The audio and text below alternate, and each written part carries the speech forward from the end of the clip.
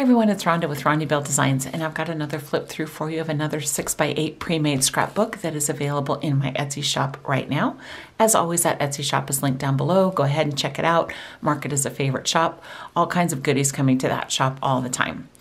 Today we're talking about this sweet little baby boy album, and I'll just walk you through what this book looks like. So again, it's a 6x8 album. This is the front cover, and the theme carries through to the back. The front cover is Mod Podge, so it's going to stand up to some handling. I have made this as easy as possible for you. Um, I've done all the work. All you need to do is pop in your 4x6 photos. So let's go ahead and take a look. So there's the front cover. This is the title page. It's a boy.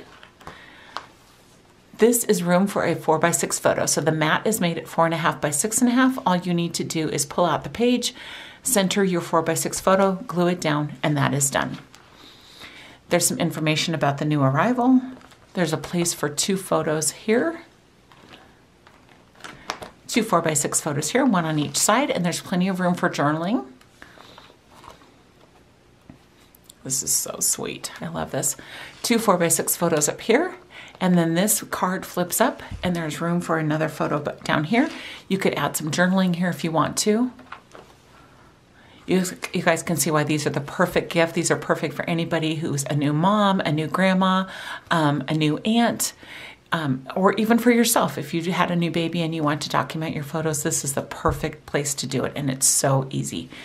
Another 6 by 8 card, and then on the back, again, place to mount your 4 by 6 photo.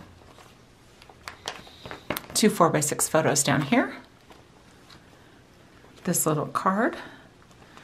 This is a little filler page I do in all of my albums. We've got a little shaker card, or a little shaker pocket down here with some sequins.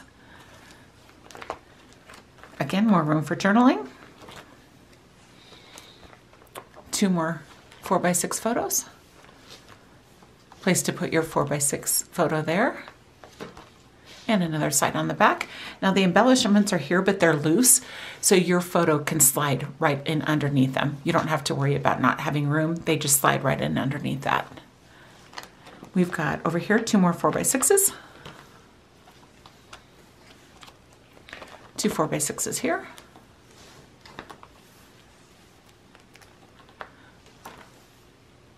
Place for notes, you can put some documentation there. Also some over here. Room for two more photos. Sweet little tag. Two photos over here. Another 4x6 photo here. Again, slides right behind those embellishments. Another 4x6 photo there. Two 4x6 photos there. More room for some journaling. You could add a four by six photo here. Two more there. This flips up, and again, you have a room here for another photo. And as always in my books, the very last page is a pocket page. You can add more photos, you can add cards, you can add whatever memorabilia you want to add to this. And then there's the back page. So the great thing about using a three ring binding system is that um, you can open them up, you can take pages out, you can add pages if you want to, you can add anything you want to this. You could add, like I mentioned, cards, you could add more photos. All you would do is simply line them up, punch the holes, and pop them in, and you are done. So this one is so sweet. I love this little baby boy album. But if you have any questions or comments, leave them for me below and I will get back to you um, on that. Otherwise, Thanks for watching today. I appreciate your support, um, and I will see you guys next time with another flip through. Have a great day. Bye bye.